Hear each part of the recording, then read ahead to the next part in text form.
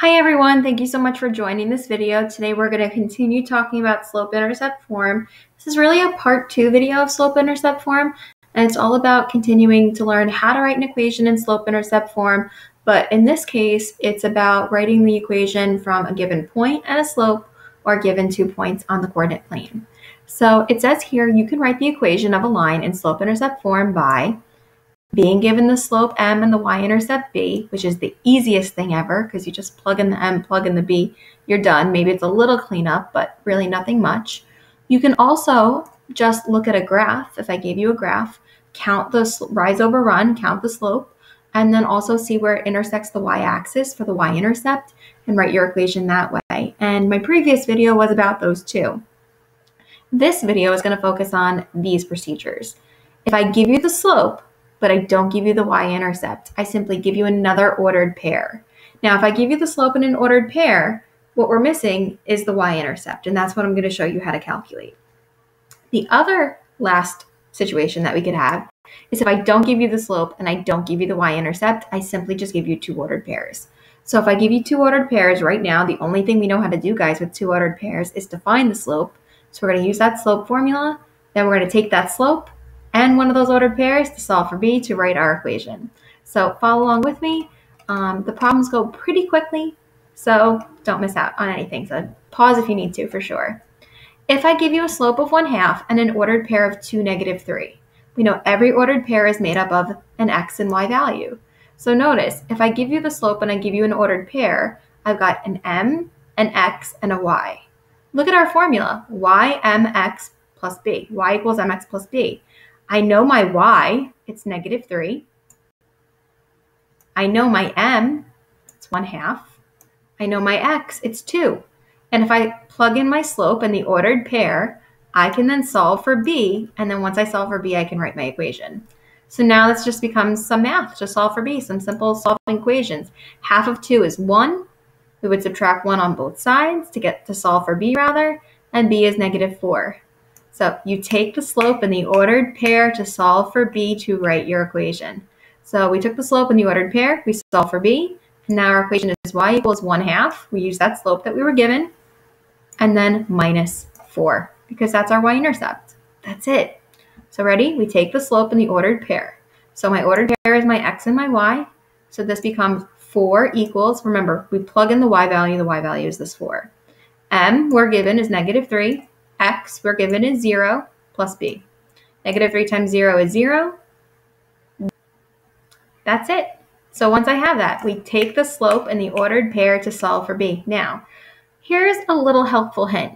In this problem here, the first problem, 2, negative 3, that's a legit ordered pair. That's in the coordinate plane. It's not the y-intercept. But look at problem 2, 0, 4. That actually is the y-intercept. So if I give you an ordered pair and the x value is 0, you can do all this math, but guess what? This y value of 4 is the b value. Again, that only happens when x is 0. So you can actually bypass all this work.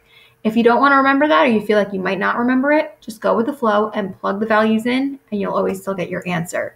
So now my equation is y equals negative 3x plus 4. y equals negative 3, that's my m, my slope, and my y-intercept is that 4. Pretty good. If you feel like you want to try these two on your own, pause the screen right now. Otherwise, follow along with me. So we take the slope and the ordered pair to solve for b to write our equation. Now, I'm not going to label the x and y right now just so that we can see um, where everything's coming from. What's my y value here? It's 5. So 5 equals, what's my m? My slope is 2. What's my x value? Negative 1. And then remember, it always is plus b becomes negative 2 plus b. Let's add 2 on both sides. We get b equals 7. So my equation is y equals 2x plus 7. Ready? My y is 0. My slope is negative 3 fourths. My x value is 4. Negative 3 fourths times 4 is negative 3. We're going to solve for b, so we're going to add 3. b is 3. So my equation is y equals negative 3 fourths x plus 3. That's it. Okay, now the next situation is where I don't give you the y-intercept or the slope. I kind of almost give you nothing. I'm going to move myself over here, sorry. Okay, I just give you two ordered pairs. Now, what I mentioned before is the only thing we know how to do right now at this point, guys, between two ordered pairs is find the slope. Well, that's what we're going to do first. So to calculate the slope between these two points, remember, it's this is x sub 1, this is y sub 1, this is x sub 2, this is y sub 2. So my formula would be to do y sub 2 minus y sub 1, so 6 minus 4, over x sub 2 minus x sub 1, 5 minus, we subtract our y's over subtracting our x's. That ends up giving us a slope of 1. Now, we take the slope and the ordered pair. But in this case, we actually have two ordered pairs, and guess what? You can pick either one. For whatever reason, I'm just going to randomly decide to pick the first ordered pair. So I'm going to take this slope that we just calculated, 1, that's going to go in for m, and then this x and y value is going to go in for my x and my y values here, so I can solve for b. So now this becomes 4 equals 1 times 3 plus b. I plug in my y value, I could have picked the 5, 6 ordered pair, and I promise you, you'd also get the same final answer. And I end up solving for b is 1, and now I have my equation. y equals, if my slope is 1, I don't need to write 1x, I could just write x, and then my y-intercept also happens to be 1.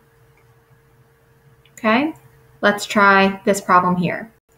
First thing I need to do is calculate my slope. Remember, this is x sub 1, y sub 1, x sub 2, y sub 2.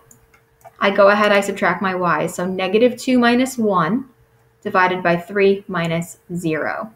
That becomes negative 3 over 3, which is negative 1. I now take my slope. I can take either ordered pair. I'm going to just randomly choose the first one. Doesn't really matter. So my y is 1. My slope is negative 1. My x is 0. To solve for b, I just happen to get 1 again, guys. It's just a coincidence.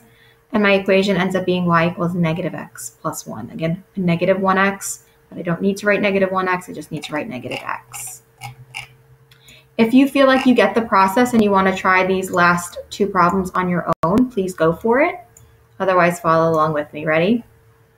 So again, we have our ordered pairs x sub 1, y sub 1, x sub 2, y sub 2. We know we subtract y sub 2 minus y sub 1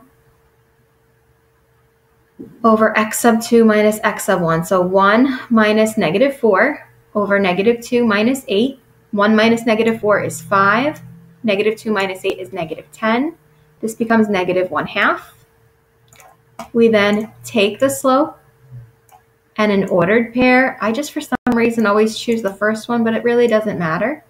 To solve for b, so my y value is negative 4, my slope is negative 1 half, my x is that 8. Negative 1 half times 8 is negative 4. Let's go ahead and add 4 on both sides to solve for b. We actually get b is 0, which is fun. So this becomes y equals negative 1 half x, that's my slope. And since my y-intercept is 0, I don't need to put plus 0. That's just my full equation. Last example x sub 1, y sub 1, x sub 2, y sub 2. So we go ahead, we plug these into our formula. So it's going to be negative 6 minus a negative 3 over 4 minus 2. Negative 6 minus a negative 3 becomes negative 3 over 2. So that's my slope. And again, I'm going to take my slope and my ordered pair to solve for b to write my equation. So my y value is negative 3. My slope is negative 3 halves. My x value is 2. Negative 3 halves times 2 is negative 3. Add 3 on both sides. Another example where we get b is 0. And so my equation equals is y equals negative 3 halves, which is my uh, slope, x. I don't need to put plus 0 at the end. I hope this video was helpful for you. Thank you so much for watching.